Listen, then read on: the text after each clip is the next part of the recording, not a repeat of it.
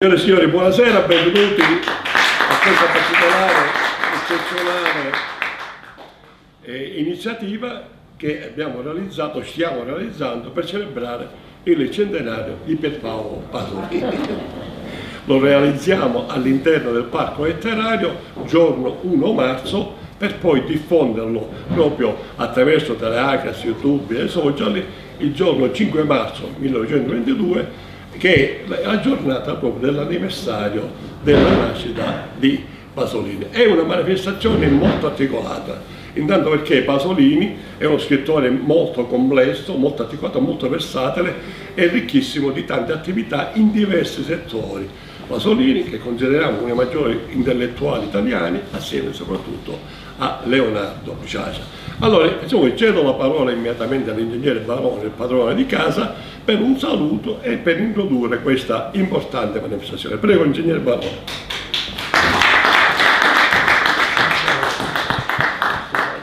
Innanzitutto benvenuti, sarò brevissimo, benvenuti a tutti quanti quelli che frequentano in genere il caffè letterario, che è questo luogo, quelli che sono venuti per la prima volta e questo mi fa molto piacere perché sono attratti, stati attratti dall'iniziativa che diciamo dal nome, per il nome che stiamo celebrando per Paolo Pasolini è molto singolare è una delle personalità o degli intellettuali più importanti, poliedrici, ho detto all'intervista televisiva del Novecento, italiano e europeo. È una delle persone che aveva tanto intuito, come anche lo stesso Ciaci ha detto poco fa lui, ma era quasi insuperabile nel capire il mondo che cambiava, prima ancora che stesse cambiando. E questa è la grandezza di Pasolini, l'abbiamo visto in tutte le sue manifestazioni, che vanno dalla poesia alla letteratura, al teatro, soprattutto al cinema, e tante altre iniziative, tante altre partecipazioni e espressioni che ha avuto.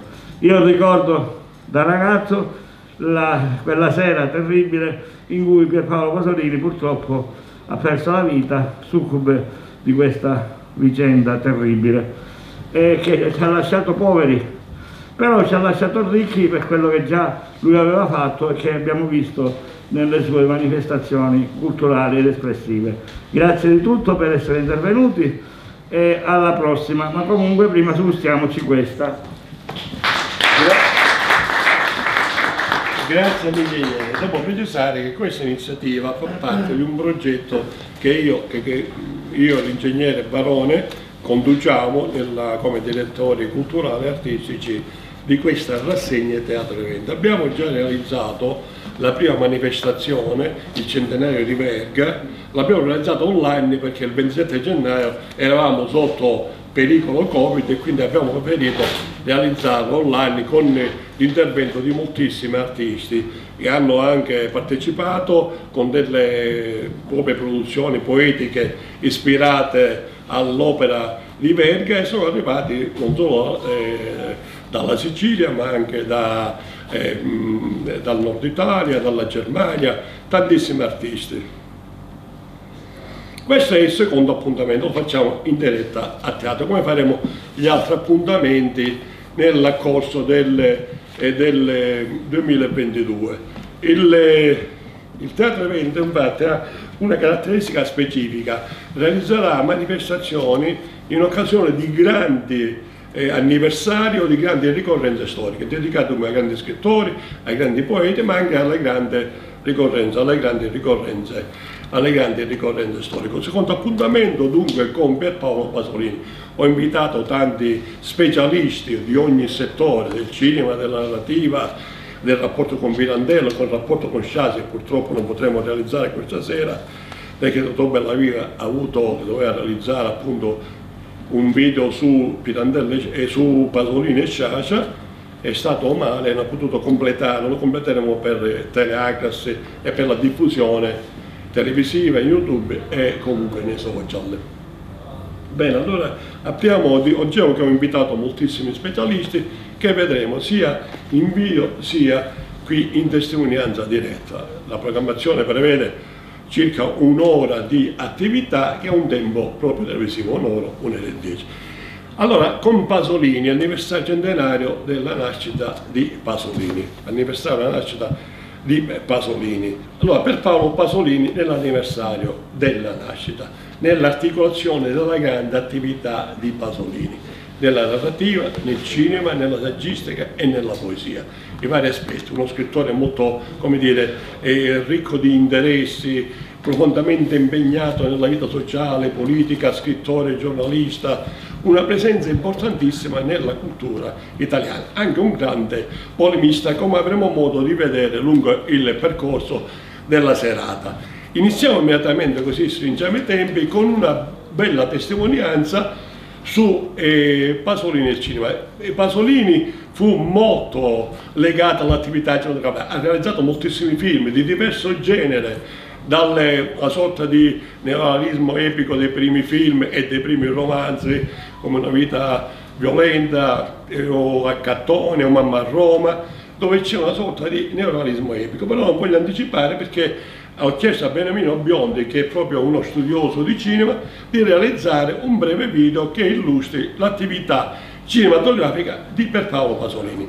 Ringrazio intanto ed è importante ringrazio intanto il, il mio amico eh, Giuseppe Adamo che è presidente del Circolo Empedocleo con cui realizzo la, la eh, stagione di teatro da Camera e questo è importante perché dimostra una sorta di circolo virtuoso tra gli operatori culturali, dunque eh, il Circolo Empedocleo, il Parco Letterario del Barone, le attività del Pirandello Festival, i nostri, i nostri opinionisti e specialisti, insomma un mondo attorno a queste nostre iniziative, il mondo dei migliori della, del nostro territorio. Migliore, anche ce ne sono altri, voglio dire, di grande qualità, ma noi ce lo sentiamo come mondo migliore. Allora, velocemente seguiamo il primo insert di Beniamino Biondi, Pasolini e il cinema.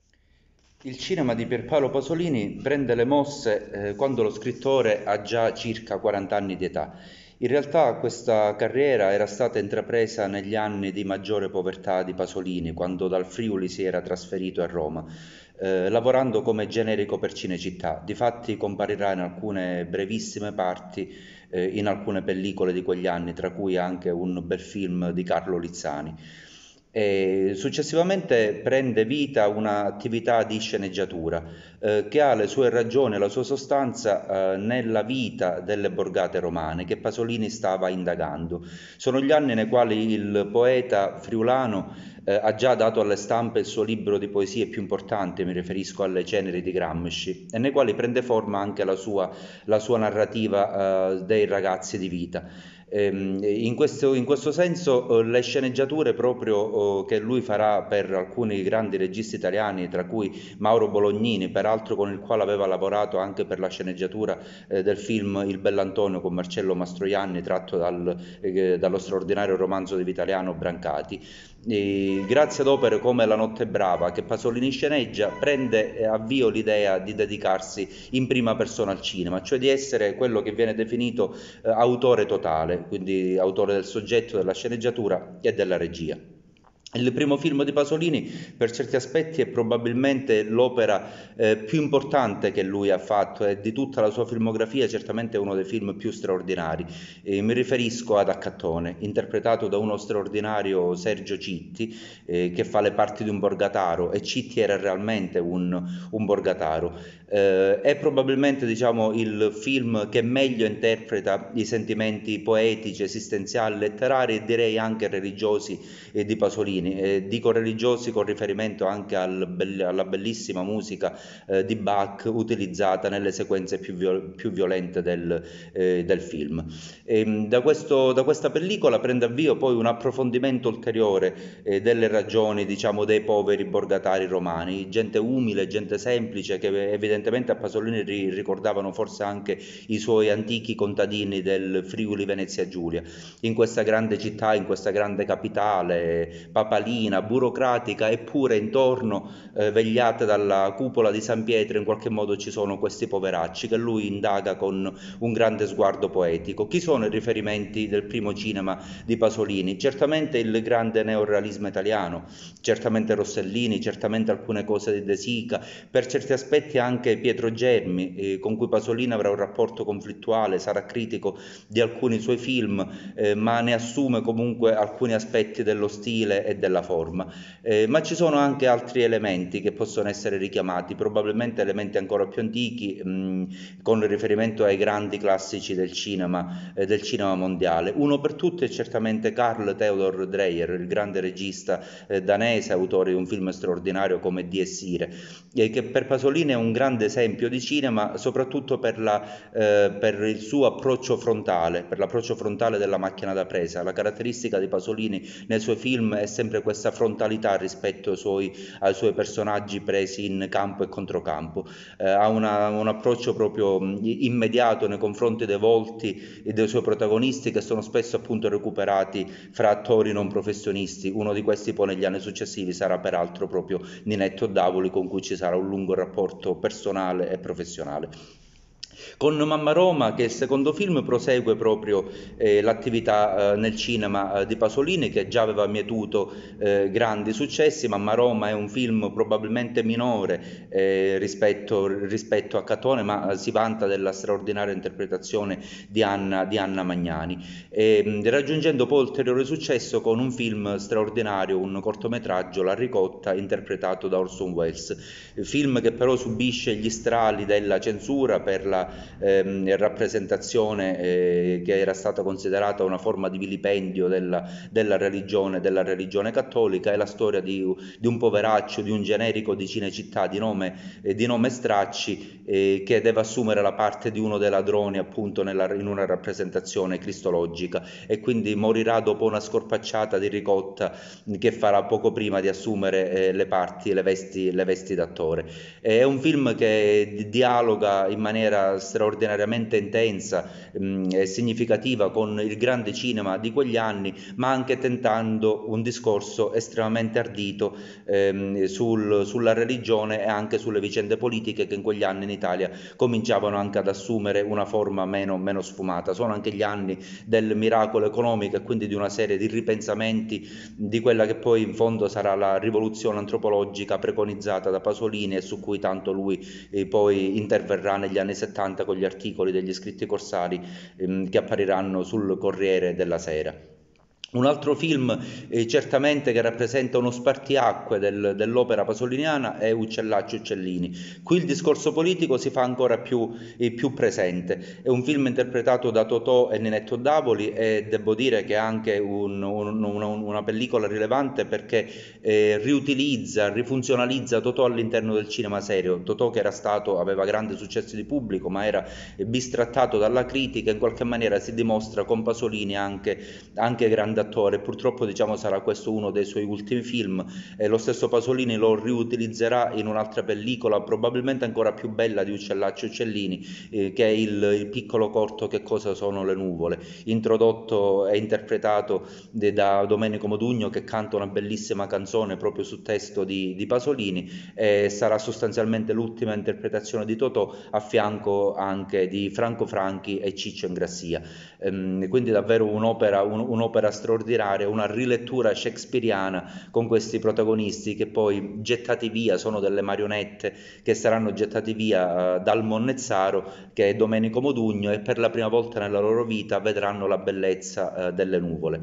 Um, lì comincia il momento probabilmente più difficile del cinema pasoliniano, quello che viene appunto definito eh, cinema, eh, cinema, simbolico. Mi riferisco a due pellicole straordinarie, Teorema e Porcile. Eh, Porcile è una pellicola fin troppo ermetica e probabilmente anche di difficile decodificazione per, per il pubblico. Teorema invece è un film eh, anch'esso che ha dei fortissimi rimandi eh, cristologici perché è la storia di un ragazzo sostanzialmente senza nome che giunge in una famiglia possedendo tutti i familiari e destrutturando poi le dinamiche e, e la logica borghese di questa famiglia di industriali con esiti, eh, con esiti per certi aspetti tragici e terrificanti. Esaurito questo momento del cinema simbolico si passa invece ad una rilettura del mito, del mito eh, greco, con due opere anch'esse straordinarie, mi riferisco a Medea ed Edipo Re, ed è una rilettura nuova di paesaggi, Pasolini mh, mm, si sposta sempre più verso l'Africa,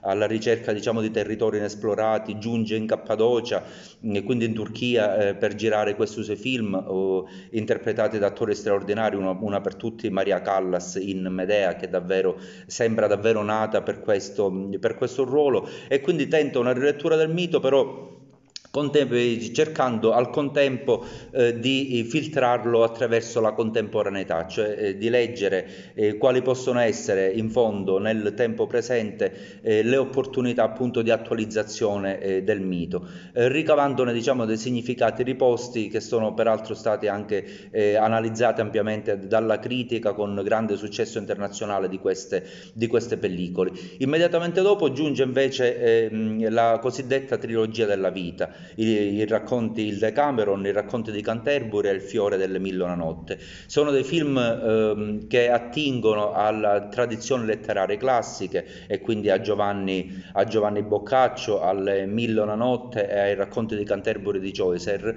e rappresentano mh, una, una sessualità gioiosa, liberata, che non era mai stata presente nel cinema italiano anche con la rappresentazione non soltanto del nudo femminile ma tra i primi tentativi di rappresentazione rappresentazione del nudo integrale maschile. Film che avranno grande successo in Italia e all'estero e che saranno poi anche, faranno nascere addirittura un filone di film ovviamente di bassissimo livello italiano, mh, mm, più che altro diciamo filmetti erotici perpalati, poco raffinati, un, un cinema, un genere che sarà proprio chiamato decamerotico, eh, proprio per questo, eh, con riferimento appunto a queste opere, a queste opere di Pasolini. Eh, la più bella di tutte certamente a mio avviso è proprio il Decameron che film in questo senso più perfetto proprio per la, rappres- per la rappres- rappresentazione di una sessualità che sebbene antica, proveniente da testi classici, evidentemente per Pasolini doveva essere molto più liberata e felice di quella che invece si stava vivendo tra la fine degli anni 60 e i primi anni 70.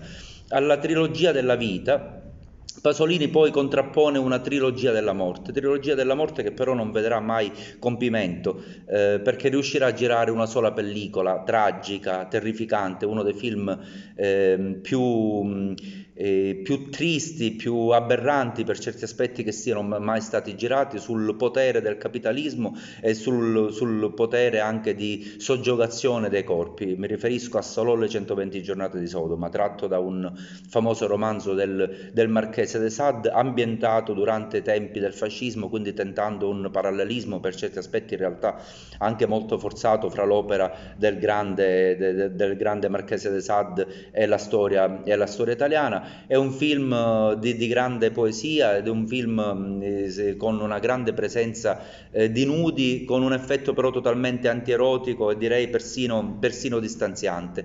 L'idea del corpo come sopraffazione, l'idea di una fazione che ne sopraffa un'altra e quindi un film di straordinaria modernità perché credo che richiami anche in filigrana eh, tanti accadimenti del nostro tempo, del nostro tempo presente. È un film eh, per certi aspetti assolutamente, assolutamente tragico. Dal punto di vista formale, insieme ad Accattone, credo che sia la migliore riuscita eh, cinematografica eh, di Pasolini ed è un film al quale lui teneva molto, proprio perché avrebbe dovuto rappresentare in qualche maniera non il sesso come dovrebbe essere, ma il sesso com'è nella società italiana di quegli anni. Siamo nel 1975. Che aveva dimenticato i testi e li ha trascritti, nello salone di proporci la canzone che è come dire, alla base del, del film come eh, cosa dicono le nuvole è un film, del, un film ad episodi di tanti registi in cui c'è anche questo episodio di Pasolini, Pasolini tra le grandi attività di scrittore, giornalista, intellettuale, polemista. Le nuvole, le nuvole sono proprio. Va bene, sì, allora quello. E ha scritto anche tanti testi di canzoni leggere per i suoi film. Una di queste è la musicata e cantata Domenico Modugno. Io ho chiesto al grande cantastorio Non Salamone di cantarla. Perché? Non Salamone non lo puoi venire. Non Salamone ha iniziato la sua attività non da giovane, non come cantante, cantastorie che ormai di fama nazionale, nell'episodio di Pasolini, il film che eh, l'italiano. Ci sei? Come no? Prego, allora un applauso a Lolo per questo sforzo.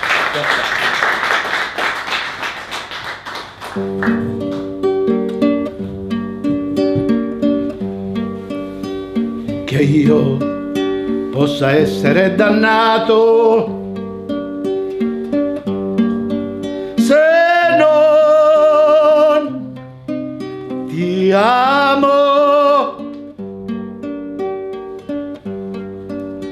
E se così non fosse, non capirei più niente.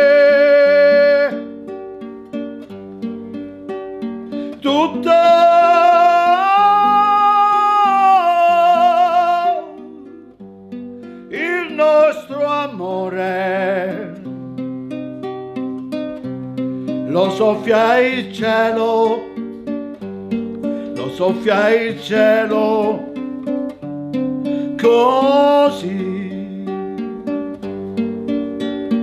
Ah, l'erba suavemente delicata di un profumo che dà gli spasimi.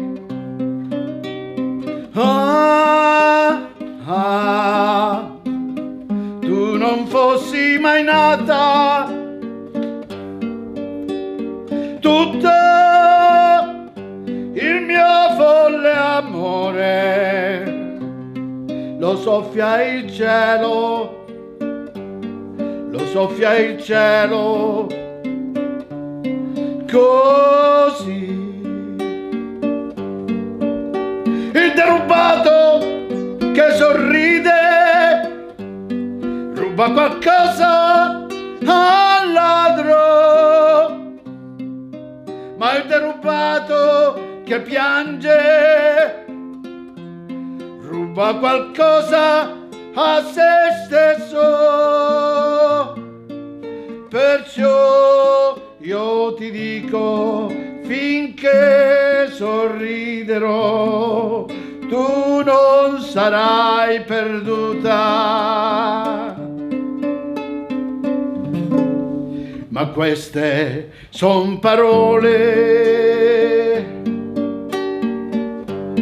che non si dicono.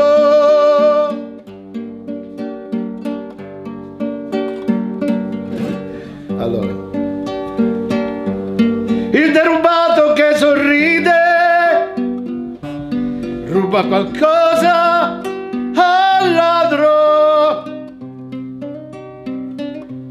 ma il derubato che piange ruba qualcosa a se stesso. Perciò io ti dico, finché sorriderò, tu non sarai perduta. Ma queste son parole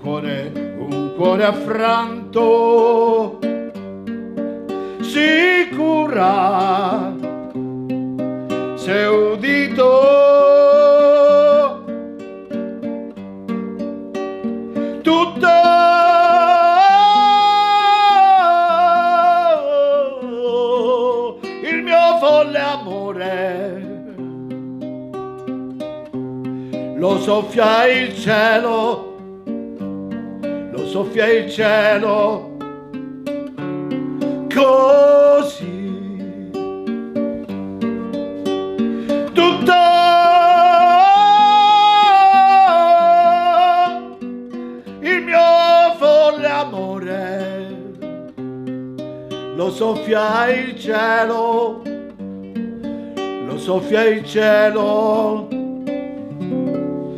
così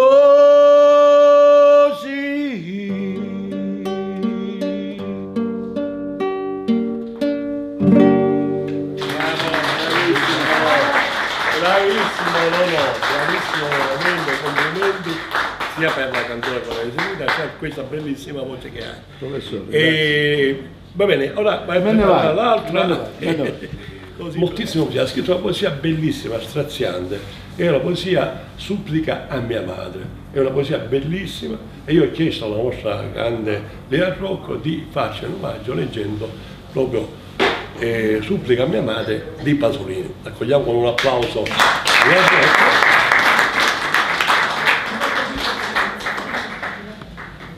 poesie veramente di grande intensità. E così attraversiamo il mondo di Pasolini, dal cinema, alla narrativa, alla poesia, alla musica e alla musica classica che fra poco ascolteremo, che fu base di alcuni film importanti come Accattone che citava proprio Benemio Biondi, in cui Pasolini utilizza molto la musica di Bach, peraltro ehm, Pasolini usava spesso musiche diciamo, classiche, anche sinfoniche, anche da Verdi, da Vivaldi, da Mozart, appassionato soprattutto però di Bach, eh, sulla, quale, quali, sulla qualità compositiva di Bach tentò pure di scrivere un saggio che poi lasciò che interruppe. Allora, Lia Rocco, prego. Il, mi sentite? Il 6 novembre del 1975 nella chiesa di Santa Croce a Casarsa della Delizia vengono celebrati i funerali di Pierpaolo Pasolini. Ad accoglierlo nel cuore dell'umile Friuli un altro poeta friulia, friulano grandissimo, David Maria Turoldo, che dedica in quell'occasione un doloroso scritto alla madre di Pasolini, Susanna Colizzi, eh, straziata dal dolore. Un testo intimo, doloroso, scomodo, come sapeva esserlo nella sua autenticità padre Turoldo. Nel testo, padre Turoldo, rivolgendosi alla madre, le dice che era lei la sua vera patria, il luogo della sua pace, il solo asilo sicuro.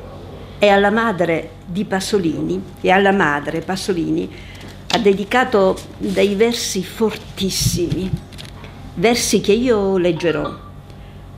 E naturalmente un'attrice quando legge poesia interpreta, dà una sua interpretazione.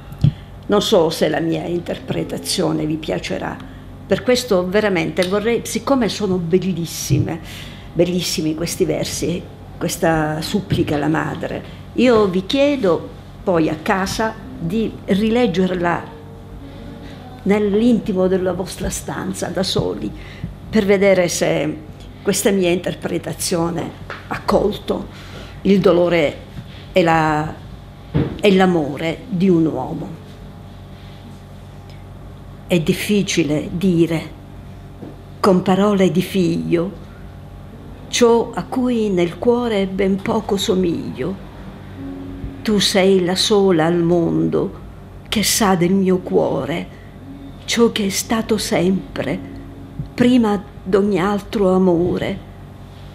Per questo devo dirti ciò che è orrendo conoscere.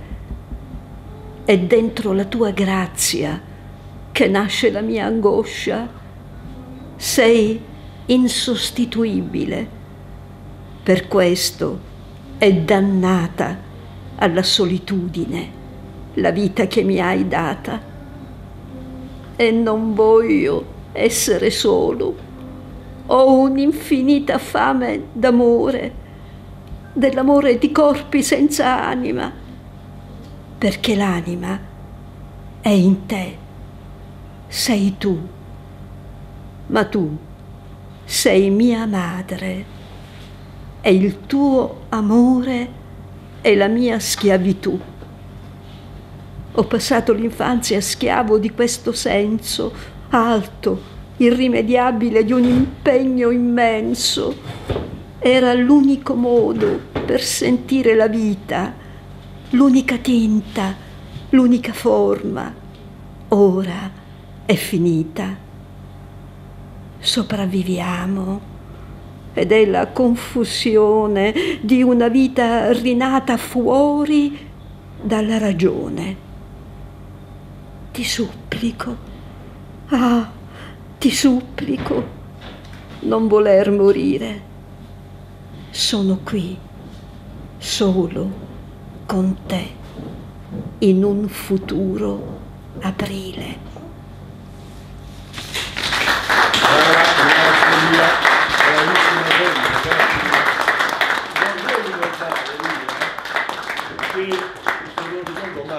Il 25 marzo, mi pare, no? tua rappresentazione a Circolo Europeo si tratta di una rappresentazione spettacolare, speciale. No, no, dai, non lo dire. Perché no, lo ricordiamo e non lo ricordiamo, ma io parlo del testo, non parlo della tua interpretazione. Il testo è proprio eccezionale. E la voce umana di Gian Cocchetò, un, un monologo famosissimo a livello internazionale, uno dei più importanti monologhi poi, che sono stati, eh, sono stati interpretati da Jean Moreau, da Caterina Ebon, delle grandi attrici eh, internazionale. Lì a Rocco giorno 25 prepara una messa in scena proprio su questo lungo monologo interessante che è un'operazione teatrale. Ve lo ricordo, il 25 marzo, 25 pare, no? Il 25 marzo dunque riprendiamo con la stagione Teatro da Camera con questo eccezionale spettacolo di Elia Rocco. E, eh, e a proposito della canzone Come le nuvole, voglio dire che il professore Emiliotto ha colto in questo episodio dal film Capriccio all'italiana un rapporto tra Pasolini e Pirandello, a parte altri rapporti. Allora gli ho chiesto di preparare un, una breve videotestimonianza appunto su Pasolini e Pirandello. Avremmo dovuto poi preparare, proporre Pasolini e Sciacca, ma eh, Salvatore Bellavia, uno specialista, non ha avuto la possibilità per problemi di famiglia di realizzarlo. Intanto vediamo, eh, Giuseppe Adamo, vediamo eh, mh, Pasolini e Pirandello. Volevo però sottolineare l'importanza anche della presenza del maestro filmmaker Diego Romeo perché nei video lui interviene con delle sottolineature, degli elementi di complemento che accompagnano il racconto o la eh, esposizione dei nostri specialisti, oltre che per l'attività che fa in favore della nostra attività culturale. Allora eh, Giuseppe, possiamo spegniamo la luce e vediamo da, con Stefano Miliotto e Pasolini e Pirandello, il rapporto tra Pasolini e il mondo pirandelliano. Prego. Pirandello e Pasolini, ma giusto per dare uno spunto di riflessione e di approfondimento. Il dialetto Entrambi eh, pongono molta attenzione al dialetto. Pirandello si era laureato a Bonn con una tesi sulla parata dei sergenti e Pasolini, laureato in lettere, aveva coltivato sempre gli studi filologici con grande passione. Entrambi scrivono alcuni testi in eh, dialetto, eh, in siciliano Pirandello addirittura nella parlata dei sergenti scrive eh, Liolà e Pasolini utilizza il friulano per le sue eh, poesie a Casarsa. Indipendentemente dalla loro teoresi eh, linguistica, hanno profondo il senso delle radici e siamo già al teatro. Entrambi sono dei eh, rivoluzionari del teatro. Pirandello col suo teatro ha sconvolto la scena mondiale nelle idee, nei contenuti e nella scenotecnica. Pasolini contro il teatro borghese della chiacchiera, del gesto e dell'urlo, col suo manifesto per un nuovo teatro del 1968 oppone il teatro di parola, che fatta giustizia di tutto l'apparato scenico tradizionale e naturalistico, arrivi direttamente al popolo e alla classe operaia. Scrive appositamente per il teatro di parola tra il 1965 e il 1966 dei testi teatrali Calderon, Pilade, Porcile, Orgia, Bestia da stile e Affabulazione che è forse il suo testo eh, più noto. E ancora il cinema. La lezione cinematografica di Pirandello arriva Pasolini che fa sua e porta alle estreme conseguenze l'intuizione pirandelliana per la quale del cinema, in quanto arte dello spettacolo, necessita di una nuova drammaturgia. Alla condizione esistenziale dell'uomo moderno deve corrispondere un linguaggio disunito, allusivo e spatriato, come direbbe Pirandello. Allora non più un racconto lineare, piano, prosastico, ma digressivo, eccentrico e che vada al di là della normale espressività. E siamo qui allora ai dispositivi umanistici di Pirandelliani. Siamo qui veramente ai moduli della poetica umoristica eh, pirandelliana. E a proposito eh, vorrei porre alla vostra attenzione un episodio del film Capriccio all'italiano del 1967 che è Che cosa eh, sono le nuvole è firmato appunto da Pierpaolo Pasolini perché vi ritrovo tanto Pirandello. Gli interpreti sono interpreti di eccezione, Domenico Modugno, eh, Franco Franchi e Ciccio Ingrassia, Laura Betti, Totò e Ninetto Davoli. E vi ritrovo soprattutto lo stupore nella scena finale di Ciaula quando uscito dalla miniere scopre la luna e così il personaggio di Ninetto Davoli quando eh, alla domanda guardando il cielo alla domanda che cosa sono quelle? e Totò risponde le nuvole. Lui dice era una meravigliosa grazia della natura.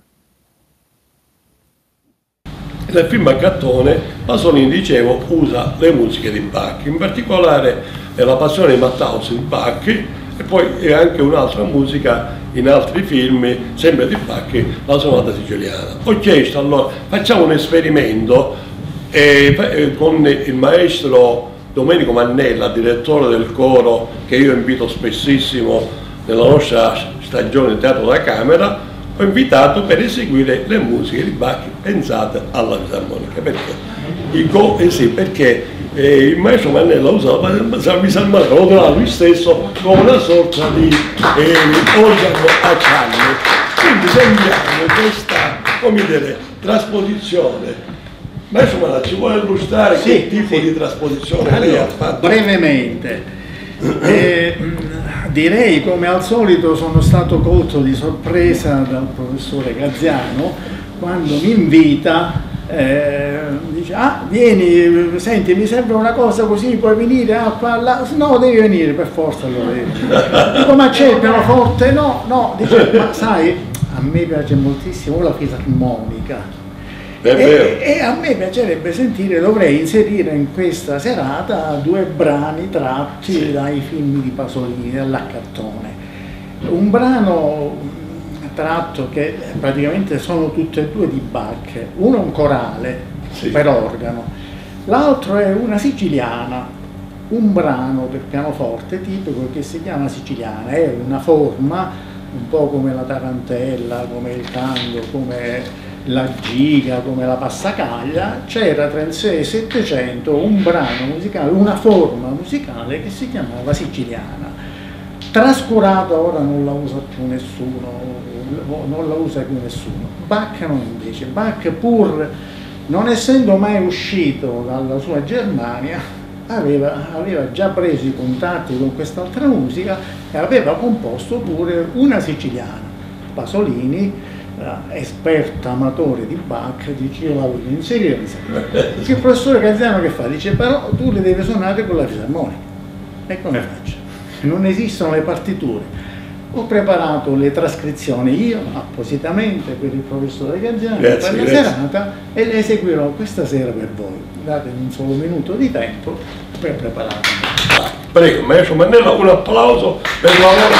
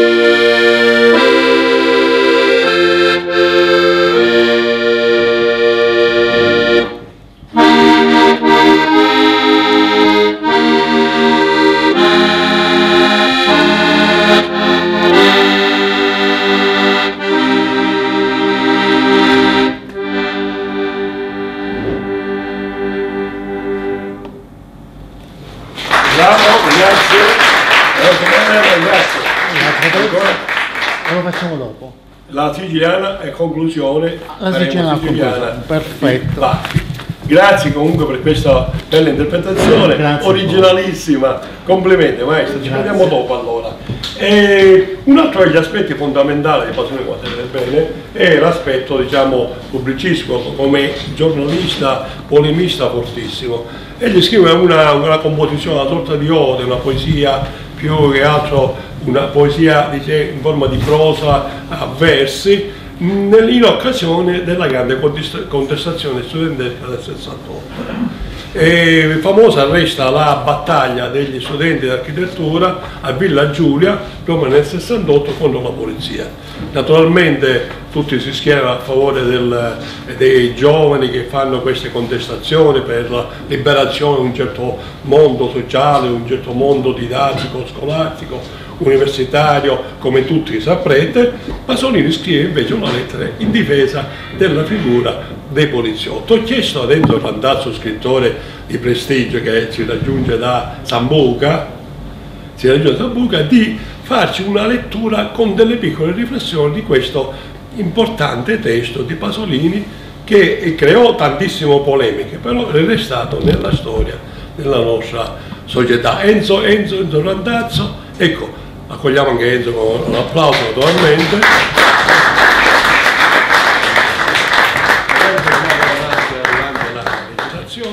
La mascherina.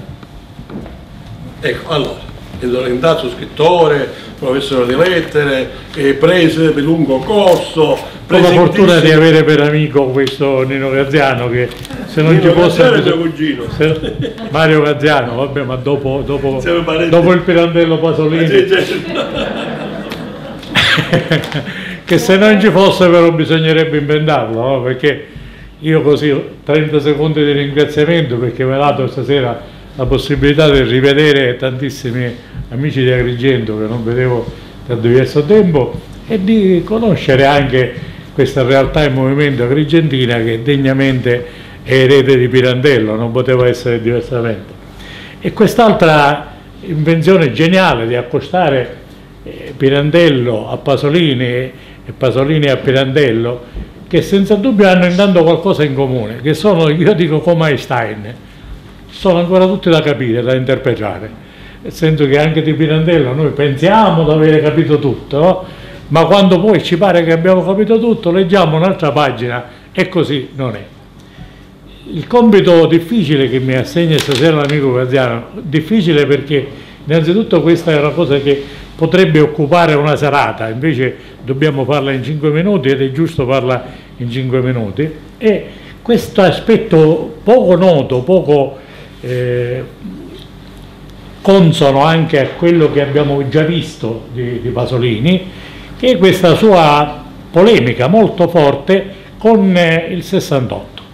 Una polemica che è basata molto sul suo comunismo forte, intenso, che eh, fa parte di quella sua cultura eh, di attenzione agli- alle periferie, agli ambienti suburbani, così che chi mi parla è un sessantottino. Io ho fatto il 68, quindi non sono un prevenuto. Ho fatto l'occupazione del primo comitato tecnico di occupazione della facoltà di lettere a Palermo nel 68. Ero una matricola e quindi vivo un'esperienza attraverso questa lettera poesia che ci presenta Pasolini eh, e che stasera attenzioneremo brevemente, attraverso uno, uno sguardo inedito. Cos'è il 68 oggi per noi? Molti di voi, io vi guardo così anagraficamente, o sono stati dentro il 68 o sono eredi appena, appena posteriori del 68, ma la generazione che noi abbiamo vissuto e quella immediatamente successiva è una generazione che nel 68 ha visto la fine del principio di autorità, la rottura degli schemi convenzionali, la libertà della scuola, la possibilità di esprimersi liberamente. Invece Pasolini coglie eh, un aspetto veramente particolare di questo suo modo di vedere la realtà eh, in questa manifestazione particolarmente. Lui vede i poliziotti e li vede nella loro realtà di straccioni, di persone malvestite, eh, di figli di quel proletariato a cui lui eh, ispira buona parte della sua militanza politica. E vede invece eh, questi ragazzi eh, studenti che sono un po' i figli della borghesia, quella borghesia, la critica alla borghesia è uno degli elementi, l'abbiamo già visto, che accomuna Pirandello a Pasolini, al costume borghese, all'ipocrisia borghese, quindi lui dice in modo forte, violento, avete facce di figli di papà, vi odio come i vostri papà. Buona razza non mente, avete lo stesso occhio cattivo, siete pavidi, incerti, disperati. E non fa nessuno sconto anche alla posizione che lui prende, dice io simpatizzavo con i poliziotti, perché invece i poliziotti sono figli di poveri, dirà più avanti poi persone che lavorano a 40.000 lire al mese, insomma, eh, vestiti come pagliacci di, di cui io quasi ho pietà per la loro condizione esistenziale, che mentre io riconosco come una forza, per Pasolini la polizia rimaneva una forza da lottare tutto sommato, però non posso condividere eh, questo scontro che voi portate avanti, perché questo scontro, questa è la sottile distinzione che lui fa attraverso quell'attenzione alle parole che lui ha sempre, è uno scontro che differenzia la rivoluzione che io ho in mente, la rivoluzione comunista, che lui dice chiaramente è l'unica rivoluzione in cui io credo, dalla lotta civile, dalla guerra civile, dalla guerra civile che voi portate avanti. Devo dire che più avanti poi questo suscitò una grande polemica, lui fu fortemente attaccato, ma c'era la, la notazione che accomunava anche Pasolini e Sciascia, i personaggi, gli intellettuali scomodi, dicono sempre delle cose scomode per cui vengono facilmente attaccati. Quindi lui facilmente attaccato poi eh, tornò a riflettere anche su questi versi, eh, trovando anche delle incollature con la posizione politica che lui assumeva e in qualche modo eh, spiegando meglio questa sua posizione presa in quel caso. Dice la mia in fondo era una provocazione talvolta ironica perché attraverso questa mia provocazione ironica intendevo mettere in evidenza eh, il fatto che dentro la cultura comunista di quegli anni, dentro i quadri comunisti di quegli anni, anche lì Pasolini non sempre era molto tenero con la struttura burocratica del PC, chiaramente c'era un'ignoranza dei certi fondamenti del marxismo e questi stessi militanti poi erano militanti che non conoscevano bene il russo, cioè lui dice non conoscevano bene neanche i testi sacri del marxismo. E quindi la, la, la critica eh, molto forte è quella che tutto sommato poi Pasolini porterà sempre avanti, una critica fatta attraverso questa, questa foto particolare alla società borghese in cui il giudizio di Pasolini fa un po' scalpore e eh, il suo brano in fondo servì a fare riflettere moltissimo quelli che erano eh, gli intellettuali contemporanei del tempo e quelli che eh, erano anche i pseudo grammisciani del tempo che in realtà dimenticavano la differenza fondamentale che nel marxismo e in Gramsci c'era tra eh, sommossa rivolta, violenza e rivoluzione che implicava invece un profondo cambiamento. Allora io ho riletto questo brano molto rapidamente secondo le indicazioni del nostro grande organizzatore eh, perché ci vuole anche a mettere assieme questi aspetti, molta profondità culturale, insomma in modo così sintetico. Ti ringrazio di avermi fatto rileggere un brano che io avevo così visto qualche volta ma senza grande attenzione e che ritengo invece molto importante per questa visione complessiva de, dell'intellettuale Pasolini e della sua libertà di pensiero che continua a fargli onore e a cui tutti noi, indipendentemente dalle posizioni intellettuali o politiche particolari, dobbiamo dare giusta testimonianza perché Pasolini ancora una volta dimostra di, essere, di non associarsi ai cori scontati, ma di essere un intellettuale estremamente libero e capace di incidere fondamentalmente nel dibattito culturale di quegli anni e anche successivo. Io ho finito e vi ringrazio. Grazie, grazie per questa bellissima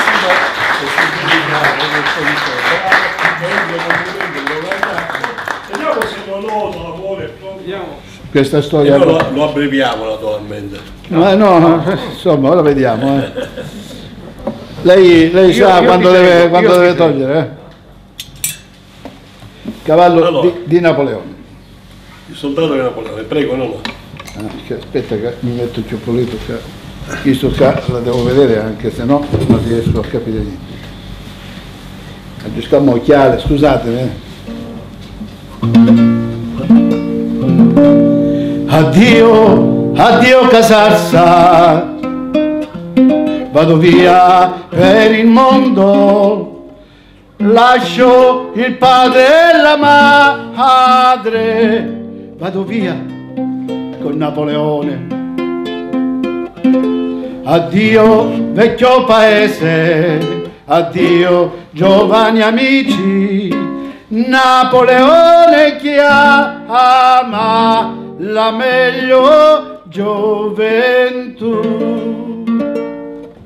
Quando si alza il sole al primo chiaro del giorno, Vincenzo col suo cavallo di nascosto se n'è partito. Correva lungo il tagliamento e quando suona mezzodì, Vincenzo si presenta a Napoleone. Come furono passati sette mesi, sono in mezzo al ghiaccio a conquistare la Russia, ferri perduti e abbandonati.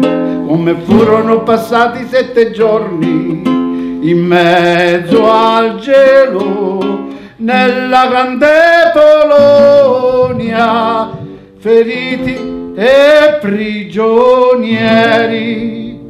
Spaventato il cavallo fuggiva per la neve e sopravveva Vincenzo che ferito delirava. Gridava, fermati cavallo, fermati, fermati ti prego, che ora che ti dia un mannello di fieno. Il cavallo si ferma con l'occhio quiete buono, guarda il suo padrone che ormai muore di freddo. Vincenzo gli squarcia il ventre con la sua baionetta e dentro vi ripara la vita che gli avanza. Susanna con suo padre passa di lì sul carro e vede il giovincello nei visceri del cavallo. Salviamolo, padre mio, questo povero ragazzo che muore nella colonia, caduto e abbandonato. Chi siete bel soldato venuto da lontano? Sono con Lucy Vincenzo, un giovane italiano e voglio portarti via. Appena sarò guarito perché perché nel petto con gli occhi mi hai ferito? No che non vengo via perché mi sposo questa Pasqua no no che non vengo via perché a Pasqua sarò già morta. La domenica degli ulivi piangevano tutte e due e l'uno e l'altro a piangere si vedevano da lontano.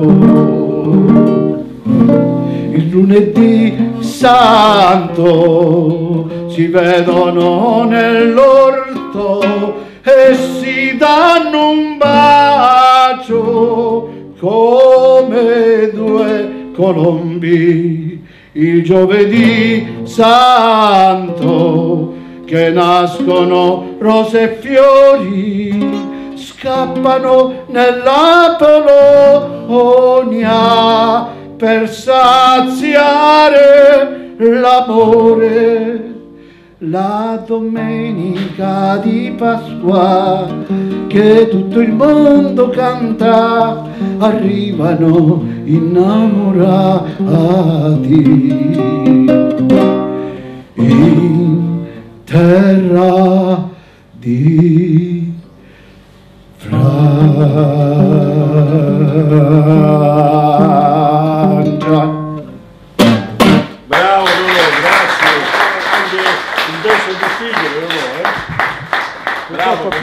Diventato più difficile.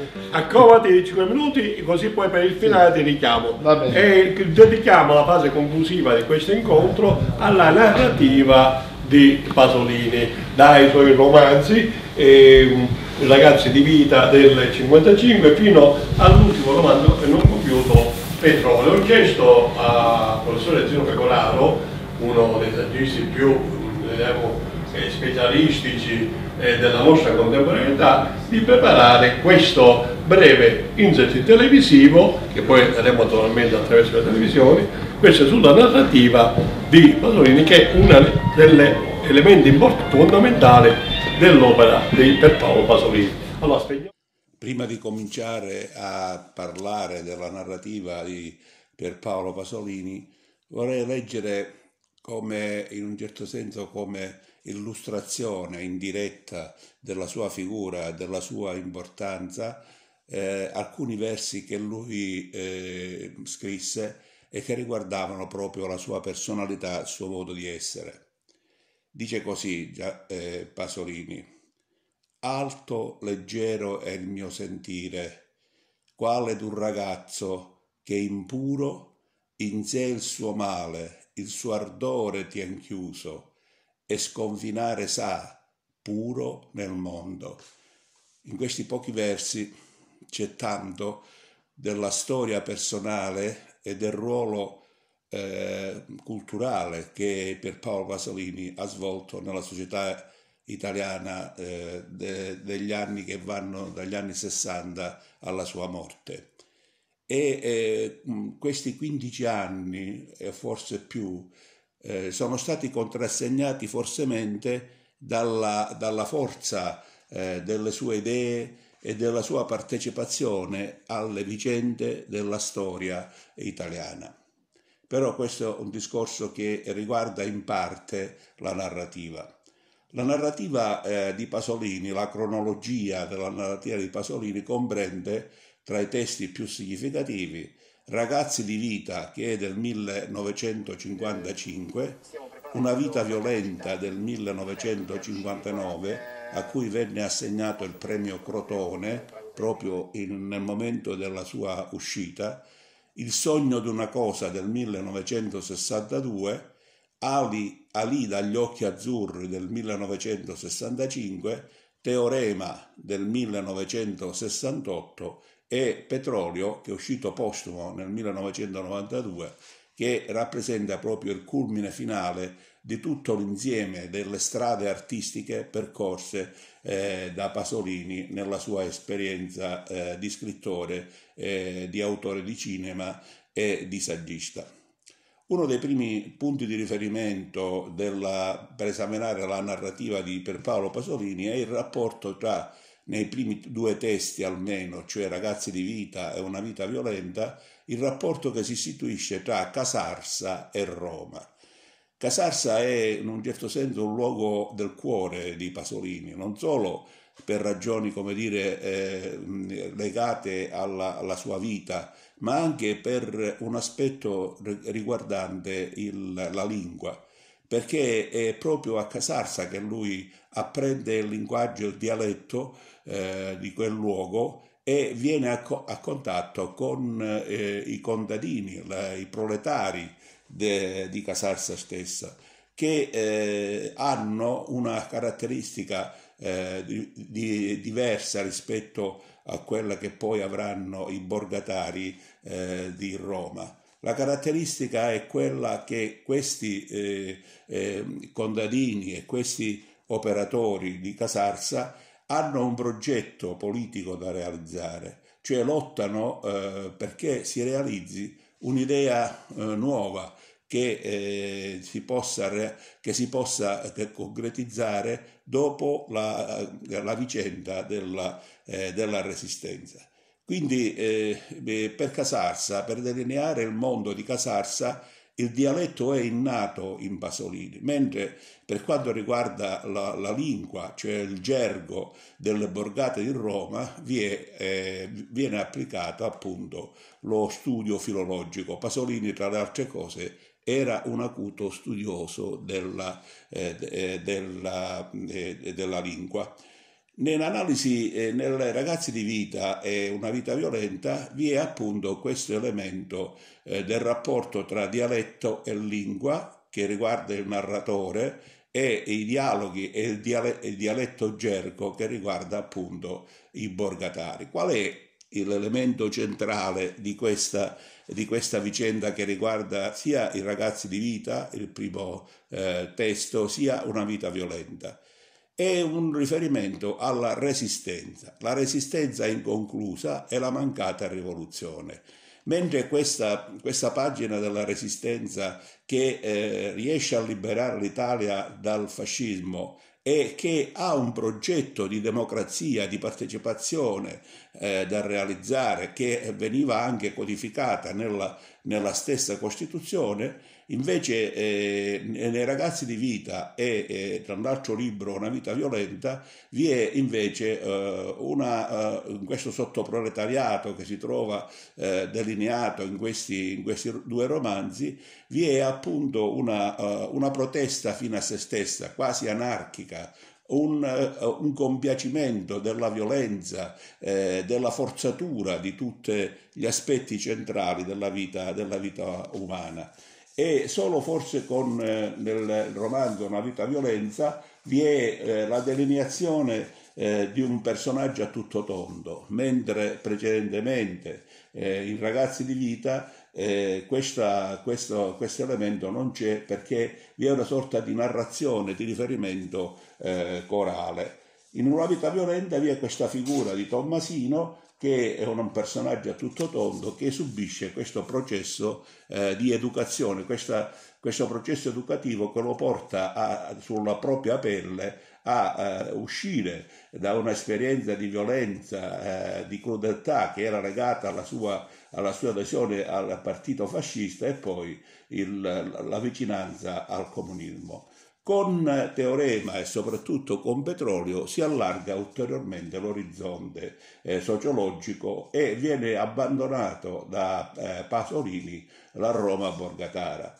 In Teorema vi è la presenza dell'elemento soprannaturale eh, che eh, è una novità rispetto, tu, rispetto alle esperienze eh, scrittorie precedenti e, ma soprattutto è interessante e importante l'ultimo romanzo che Pasolini eh, non portò a termine. È un mega romanzo, almeno nelle intenzioni di Pierpaolo Pasolini.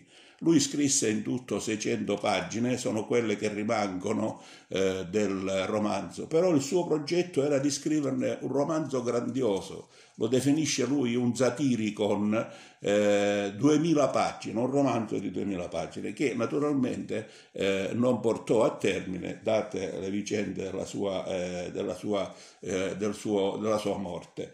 Un romanzo però in cui si sintetizza tutta l'esperienza, tutta la storia d'Italia, almeno nelle intenzioni eh, dell'autore, eh, tutta la storia d'Italia dagli anni 60, del boom economico, fino agli anni 70.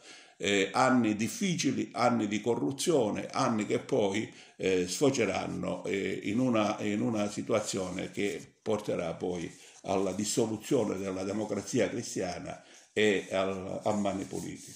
L'esperienza narrativa di Pasolini poi viene abbandonata perché altre sono le strade che lo stesso scrittore percorre. Saranno però eh, significative queste basi nelle esperienze successive. In conclusione concludiamo, come abbiamo detto, richiamo il maestro Mannella con la sonata di Bach. Tra l'altro avete visto questo titolo di un articolo su Bach e sui versi di Pasolini che richiamano Kurt Weill, il grande musicista di Bertolt Brecht e Kurt Weill che noi abbiamo spesse volte utilizzato e riproposto nei nostri spettacoli anche dedicati a Brecht. Allora il maestro siciliana di Bach, una sorta di tarantella, diceva il nostro maestro, e di Bacchi, così concludiamo anche con la La siciliana è un brano tipico siciliano, è una forma siciliana tipica che veniva utilizzata, come dicevo poco fa,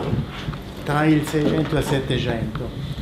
Però eh, a differenza, al contrario di come viene pensata oggi la musica siciliana, che tarantella, che musica, che vivacità, che forza, che energia piena, la siciliana invece è un brano malinconico, un brano sereno, un brano riflessivo, è una forma leggera, proprio così che eh, fa pensare alle ninne nanne, è il ritmo di una, di una ninna nanna. Ha origine, infatti c'è molta somiglianza tra le nostre ninne nanne o tra alcuni brani lenti che ha pure inciso e registrato Rosa Balistreri, che hanno origine dal popolo siciliano, che vengono captate dai compositori di musica del 600 e del 700 e la trasformano in una forma classica. La siciliana allora è un brano molto malinconico, leggero, non è triste, è sereno, tranquillo. Pensiamo alla ninna nanna.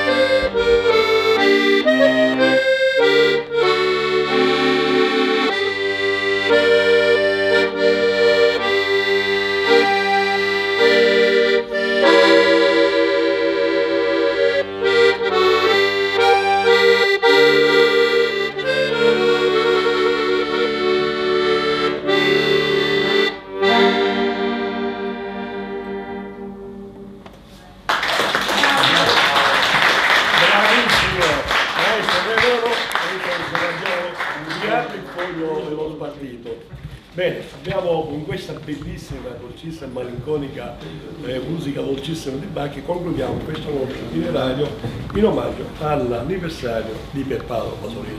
Vorrei accanto a me però tutti i protagonisti della serata. Intanto la signora, ecco facciamo una musica sempre, questa la ripetiamo, come la musica di base per i titoli. La signora Lia Rocco, prego, via. Un applauso a Lia Rocco. Non ho Salamone, non Salamone, sei ancora. Grazie Lia, bravissima. Allora, il professore Pecorale, il professore Sapoliotto, il professore Randazzo, insomma con me. L'ingegnere di Parole, in casa.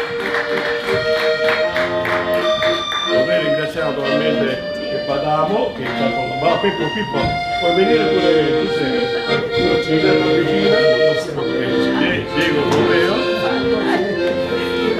e eh, Diego Pizzi eh. concludiamo Napoli grazie al maestro Mandela Nonò è andato via perché era degli Unione Tutela. Allora ringraziamo e ringraziamo noi con un applauso. il nostro pubblico